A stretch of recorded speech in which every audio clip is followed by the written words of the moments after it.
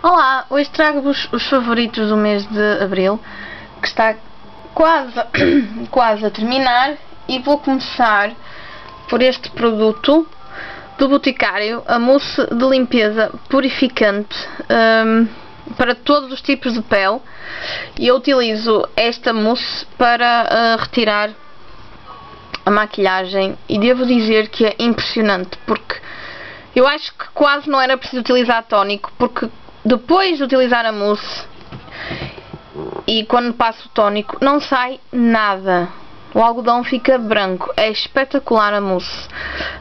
Um, primeiro umedeço a cara depois passo com a mousse massajo o rosto de seguida retiro com água e um, depois utilizo o tónico e é, é simplesmente fantástica. Eu acho que tem apenas um contra pelo menos na minha pele é que deixam só um bocadinho seca. Uh, por isso é que é imperativo aplicar logo no final da limpeza de pele o, o, o creme, que também é de Boticário, por acaso eu já vos mostrei o creme de noite. E eu gosto mesmo muito deste produto, porque torna-se muito suave, a limpeza torna-se muito suave, uma vez que o produto é em mousse é espetacular. Experimentem, passem no boticário e ponham um bocadinho na mão só para, para experimentar. É fantástico. Isto tem 150 ml e sinceramente não sei quanto custa, mas deve ser entre 10 e 15 euros, penso eu. Do Boticário ainda tenho mais duas coisinhas. Não. Não? Sim. Tenho este gloss, que é da nova linha da coleção Intensa. Este é o cor 10. É, não é? É. E é um laranja. É um laranja com... Aqui não dá para ver muito bem, mas eu tenho que fazer review sobre ele ainda. É um laranja com fundo dourado. Fantástico. Eu tenho utilizado todos os dias. Adoro esta cor. Laranja. É um bocadinho, não é laranja. É assim, uh, coral com fundo dourado. Tem mesmo brilhozinhos muito pequeninos dourados. É simplesmente lindíssimo. E esta fórmula, eu já disse no blog, está melhorada porque em relação à, à linha Intense, porque o batom, o batom, o gloss dura imenso tempo nos lábios e é mesmo muito, muito pigmentado. E eu recomendo. Aliás, esta gama é muito bonita, as cores são todas muito bonitas. Eu só tenho este, mas gosto mesmo muito dele e por este andar vai acabar rapidinho. Do Boticário é tudo. Agora, há um produto que eu estou a utilizar para o cabelo e que estou a gostar muito, sempre após o banho, e já devia ter incluído nos favoritos há mais tempo. É um, se vê-se melhor porque é um frasco. É este óleo de argão da Inoar que me foi oferecido, isto era uma amostra ele já vai a meio como vocês podem ver. Foi-me oferecido na Expo Cosmética 2012 eu não lhe passei grande cartão Há uns tempos, quando andava ali a arrumar a gaveta das, das, dos produtos cosméticos, é que o vi e pensei, bem, vou experimentar isto. Gosto muito, muito deste produto. O cabelo fica super macio, super cheiroso, com um aspecto brilhante, hidratado.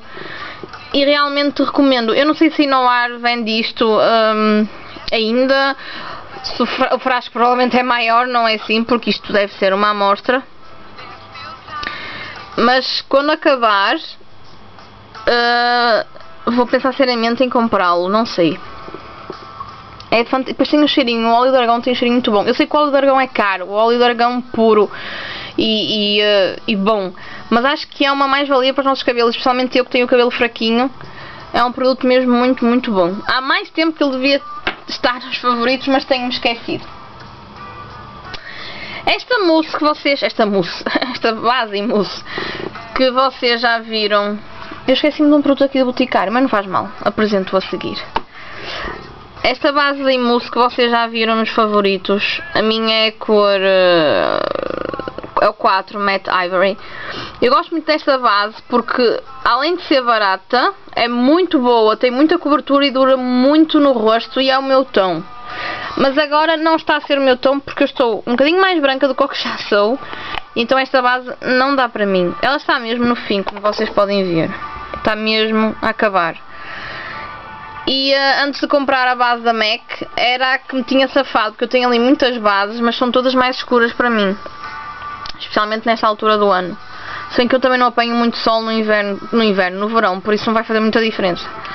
Era esta que eu utilizava, mas para o dia a dia era um bocadinho exagerado porque tem muita cobertura e eu não gosto de ver muita cobertura no dia a dia. Dá aquele aspecto pastoso de quando, como se diz, que se passasse uma lixa na pele que saía a base toda. Pronto. Eu gosto que as pessoas olhem para a pele e perguntem que pele bonita que tu tens, como é que fazes e não que base é que tu usas. Pronto.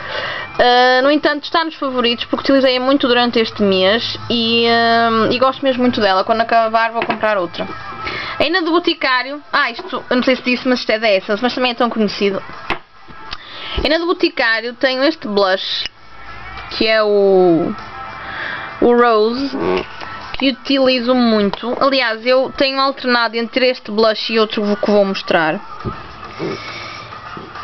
E é um, um rosinha o rosinha tem partes rosa claro, outro rosa chiclete. É mesmo muito, muito bonito. E os, os blushes desta linha do Boticário são fantásticos, a linha Make Me. Eu acho que ele custa 16 euros, mas é muito bom mesmo. Eu tenho alternado entre este blush e este, que eu vos mostrei que trouxe da Expo Cosmética. O Blush Me da Mimimi, este é no tom bronze, que para mim é escuro, mas eu estou a gostar bastante. Este tem um plástico aqui que supostamente devia sair. Ele é muito escuro, mas eu estou... E tem... É ligeiramente acetinado, mas eu estou a gostar mesmo muito, muito dele. E também dá para fazer contorno, mas eu não tenho utilizado para contorno.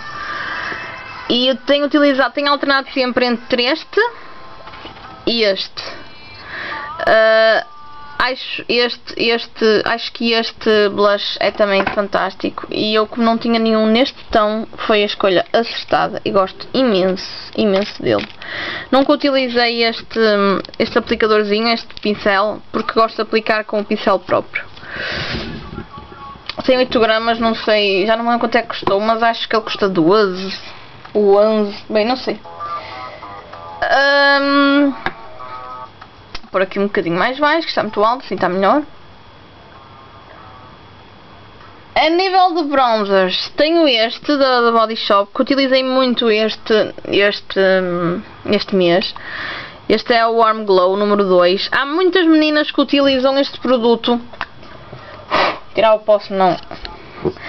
Que utilizam este produto para, para iluminador. Mas isto para mim para iluminador não dá. É muito escuro. Tem que ser para contorno. E eu utilizo para contornar no dia a dia e gosto imenso, imenso. E acho que até que é um, um bronzer perfeito para mim, para iluminar. Eu não sei se a Body Shop ainda vende isto, mas eu acho que isto é da linha permanente e é mesmo muito bonito. Falar em iluminar, um iluminador que eu tenho utilizado muito é este da Makeup Academy. O Undress Your Skin este, eu acho que isto não tem número. Não, nem tem referência, porque não sei. Há quem o compare ao... Ai, eu não me estou a lembrar do nome, mas é um da Mac. Não me estou a lembrar do nome. É um muito conhecido que a Mac tem. Eu sinceramente não sei, porque nunca utilizei o da Mac. Gosto bastante deste. Até ele é parecido com o que tem ali da Essence. Uh, dá aquele ar... Uh, e iluminado, não é? Como se pretende, mesmo no dia a dia, é perfeito para o dia a dia, acho eu. Não é assim nada de, de extravagante, de que atraia muito brilho ou que atraia muito atenção, mas, hum, mas gosto dele e tenho utilizado todos os dias. Outro iluminador que eu utilizo muito, muito, utilizei muito este mês, foi este da ProArt. É um iluminador em creme Uh, isto vinha numa mala de maquilhagem uma, uma mala. Eu até chamo aquilo portátil, até já, já fiz um vídeo sobre isso. Que o meu namorado me deu há uns anos, foi no ano passado ou há dois anos, não me lembro. E uh, peço desculpa.